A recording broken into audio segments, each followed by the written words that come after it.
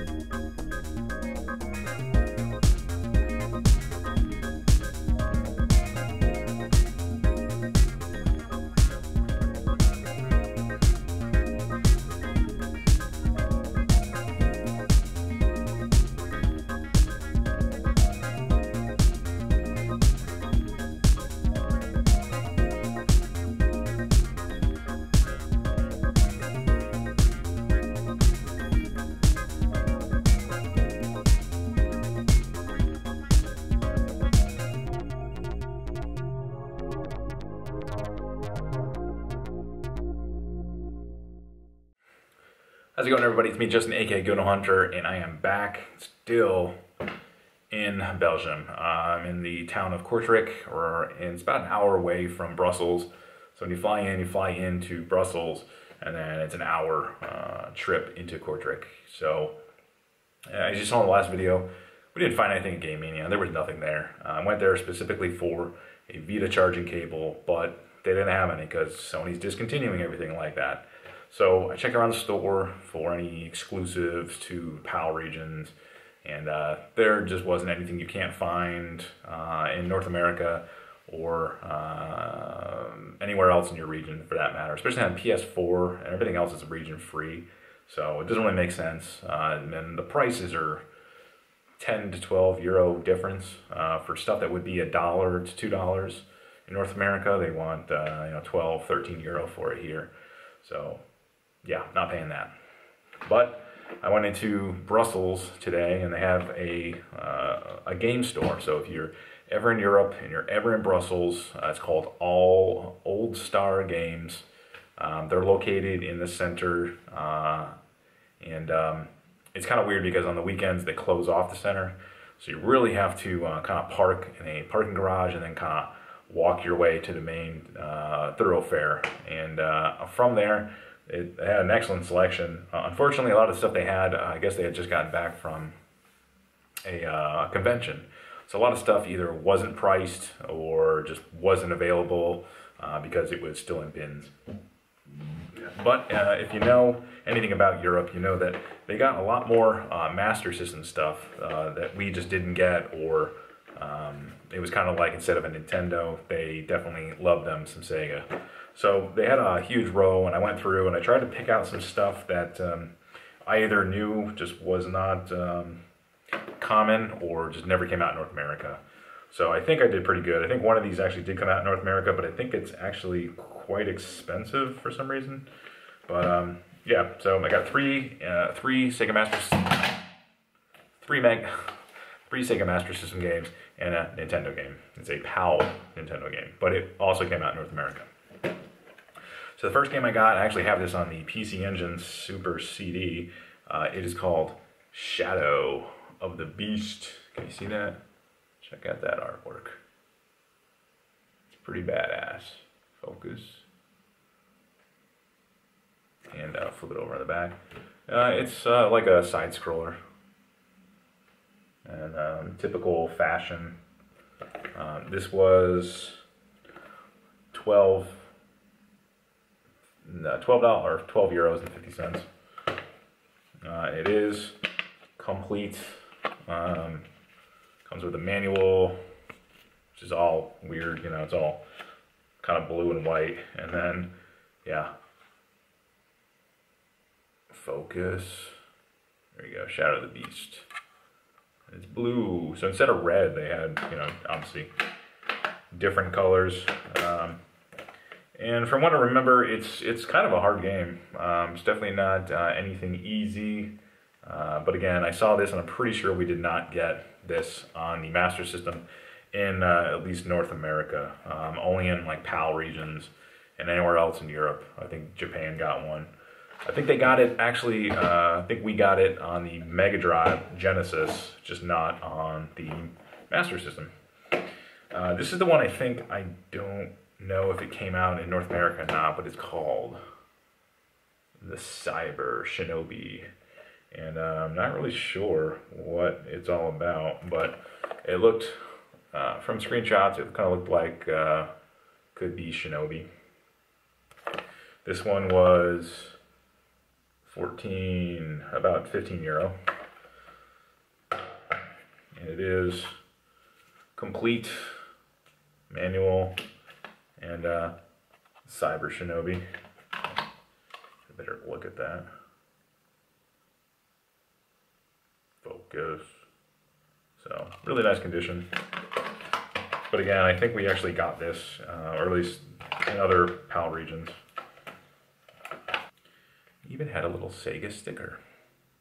We'll stick that right on the front.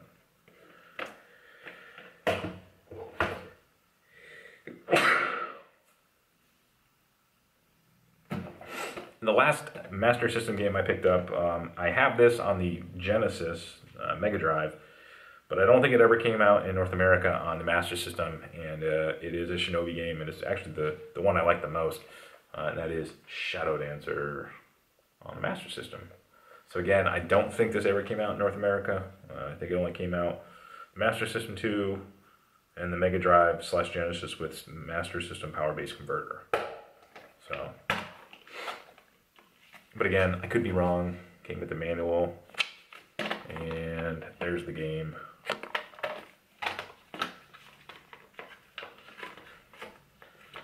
So, yeah, awesome, awesome, awesome. If you've never played uh, Shadow Dancer, it's fun.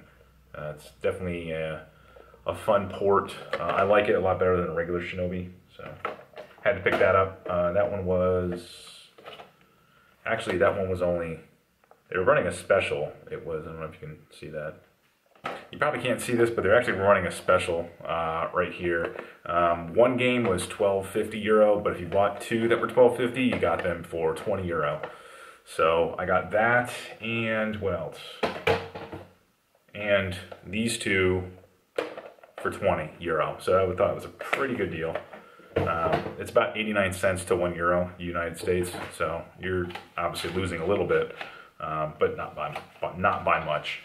And the last thing I got was a PAL Nintendo game. It's actually a PAL B variant of a North American game that, uh, you know, the, the label's a little bit weird. But uh, yeah, it's, I got me a copy of Power Blade. Uh, and you can see it's got the big black border. It even says B on it. Um, but I got this for, probably can't read that, it was only 11.50 euro. So for about 12 euro, I got me a copy of Power Blade. Um, I don't have this, and again, it's a European game. But I think Power Blade North American goes for a little bit more money, obviously. Uh, but I know Power Blade 2 does. So those are all the pickups that I got. Uh, and we actually did a little video while I was there. Unfortunately, my camera filled up on my phone. So unfortunately, that's all you're going to get. But uh, yeah, hopefully uh, it's something worth watching. If you liked the video at the end, just hit the thumbs up. If you didn't like it, hit the thumbs down and suck a fat dick. I'll be back uh, next week, so hopefully maybe on a Friday because I'm taking Friday off. Um, we can have a nice little out thrifting with me uh, as I'm jet lagged as fuck, I'm sure. As always, guys, this is Goodwill Hunter saying, keep up the thrift, and I'll thrift with you later.